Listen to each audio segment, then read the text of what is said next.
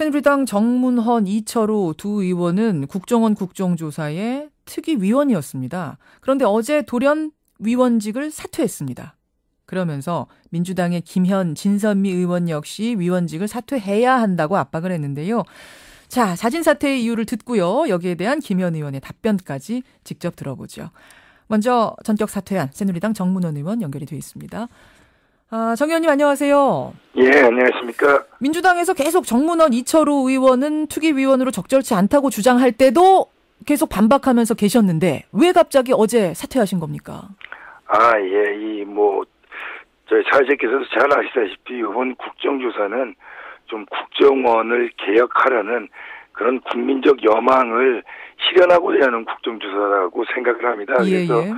이 국정조사를 좀 충실하게 음. 제대로 된 국정조사를 함으로 해서 그 국정원이 보다도 본연의 업무에 충실할 수 있도록 좀 개혁할 수 있도록 이렇게 좀 이끌어주는 것이 이번 국정조사의 그 본질이라고 생각을 하는데요. 예.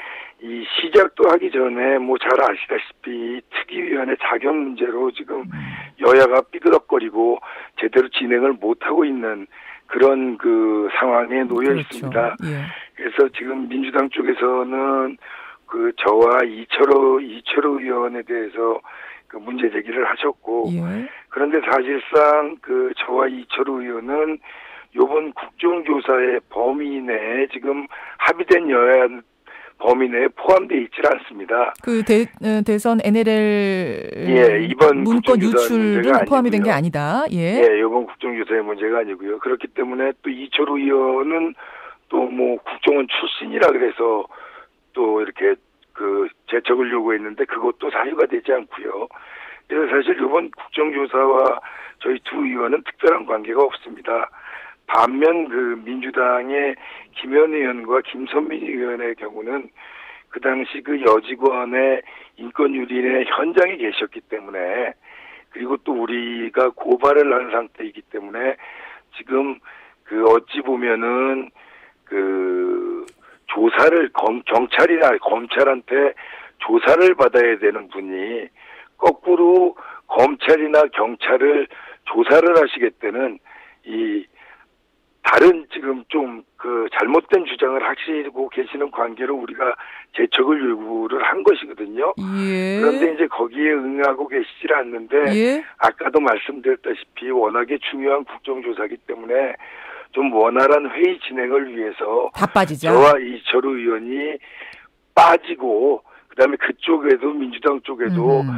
그두 분이 좀 스스로 사퇴하시기를 좀 종용하고 있는 그런 상태입니다. 그러니까 서로 서로 지금 재척 사유라고 주장하는 위원들은 다 빠지고 빨리 국정조사 진행하자 이 말씀이세요. 예, 좀 그리고 또 저희가 또 남아 있음으로 해서 예. 계속 좀 이 국정조사가 그 본질 본연의 임무에 충실하지 못하고 정쟁으로 될? 가능성이 있기 때문에 알겠습니다. 좀 저희로서는 좀 아쉬움이 있지만 여기서 좀 스스로 빠져서 보다 충실한 국정조사가 예, 예. 되게끔 좀 일조를 하자는 그런 의미에서 사퇴를 하게 되었습니다. 근데 민주당에서는 이 국정조사는 국정원의 대선 개입을 파헤치는 게 본질인데 그 예. 개입 내용을 파헤치기 위해서 댓글 여직원 집 앞을 지키다가 고발을 당한 김현 진선미 의원이 어떻게 재척 사유에 해당하느냐 예. 그분들을 뺄 이유가 없다라는 건데요.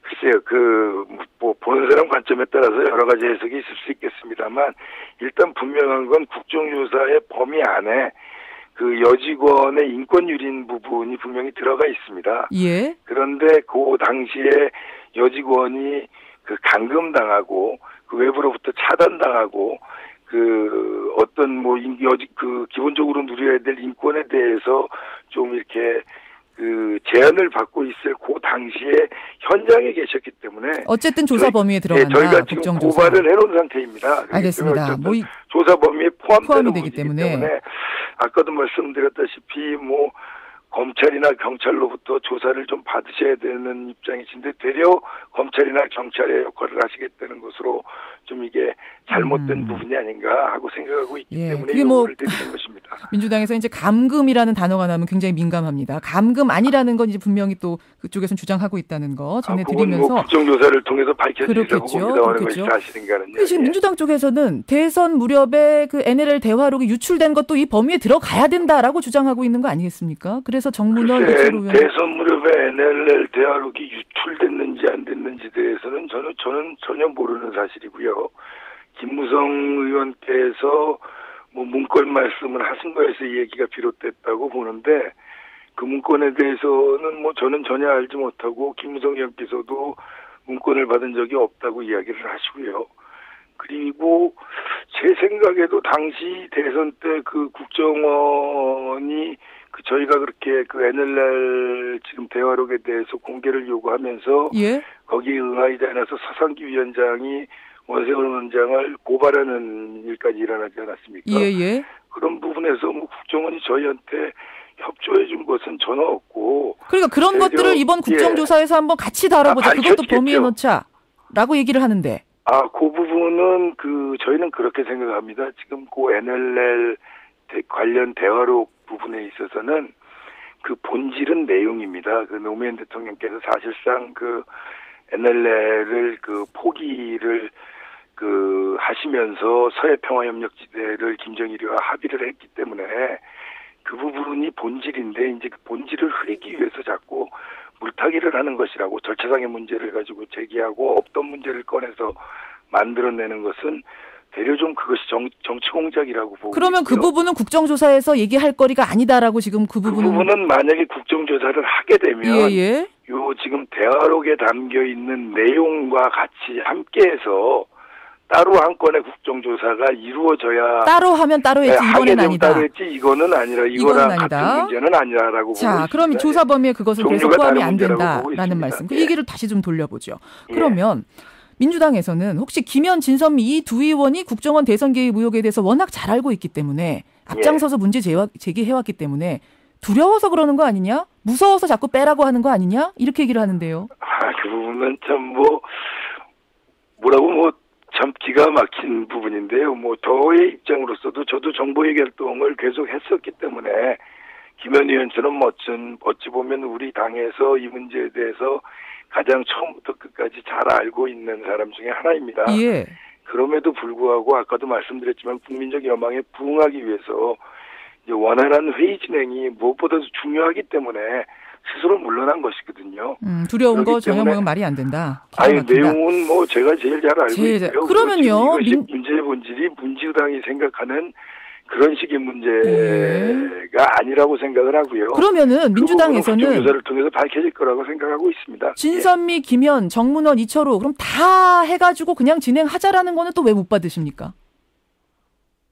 예. 음, 뭐 그것을 못 받은 문제는 아니고요. 예. 그런 이야기는 지금껏 저희는 들어본 적이 없습니다. 지난번에 김현 뭐, 의원이 나와서 그런 말씀 하시더라고요. 다 그대로 가는 방법도 그러면은 가능하다라는. 어, 그건 언제 그랬는지 모르겠습니다. 저는 오늘 지금 사회자로서 아. 처음 듣는 말씀이고요. 만약 그것이 우리 사퇴한 이후 예, 어저께 예. 오전 이후에 나온 발언이라면 참으로 무책임한 발언이다 이렇게 생각을 하고 그, 그런 생각이 듭니다. 그 부분은 그럼 제가 뒤에서 다시 한번 확인을 해보도록 예, 하겠습니다. 예. 만약 네 분이 그럼 같이 다 참여하는 것을 그 민주당에서 왜 원한다면 그러시냐면 저희가 처음부터 우리 쪽 간사인 권성동 의원한테 예. 이좀뭐 정적적 사태보다는 저쪽이랑 우리랑 회의의 원활한 진행을 위해서 넷이 다 물러설 수 있으면 그렇게 하고 진행을 하자고 이야기를 했고 그 음흠. 부분이 민주당에 전달이 됐습니다. 예. 그것이 반영되지를 않고 이제 자기들은 고소를 하고 우리만 물러나라고 이제 요구하는 상황에서 그런 상황에서 아까도 말씀드렸습니다만 좀 회의가 충실히 진행될 수 있도록 알겠습니다. 저희가 적극적으로 사퇴 결정을 내린 것이거든요. 만약 민주당의 김현 진선미 의원이 사퇴 안 하면 그때는 어떻게 되는 건가요? 어, 그 부분은 우리는 이미 사퇴를 했고요. 또 이제 원내대표 단이 어떻게 판단하느냐의 문제가 좀 일정 부분 남아있다고 생각을 하지만요.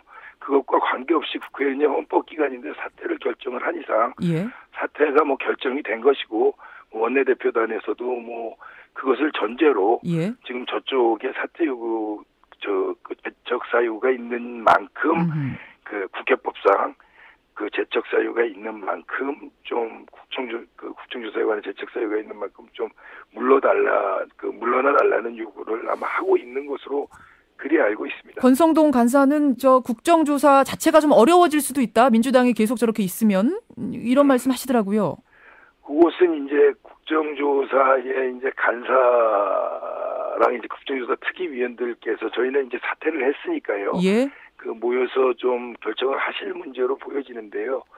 그 아까도 말씀드렸듯이 양쪽 당에서 다 문제 제기를 하고 있는데 한쪽이 좀 그 먼저 좀 털고 나왔으면 다른 한쪽이 거기에 응하지 않으면 음. 내용 문제에 대해서는 그 김현 의원이 자기 당에서 알겠습니다. 가장 뭐 잘안다 그러면 저도 뭐 거기에 대해서 그에 비할 만큼 우리 당에서 그 문제에 대해서 많이 다뤄온 사람인데요. 예. 이 부분에 대해서 호응하지 않으면 과연 여기 이 국정조사를 그냥 정쟁으로만 삼겠다는 거 아니냐, 이 제대로 된 국정조사를 할 의지가 있느냐를 좀 의심해 봐야 되지 않느냐 하고 생각하고 있습니다. 여기까지 말씀 듣겠습니다. 고맙습니다. 감사합니다. 새누리당 정문원 의원의 입장을 먼저 들었습니다.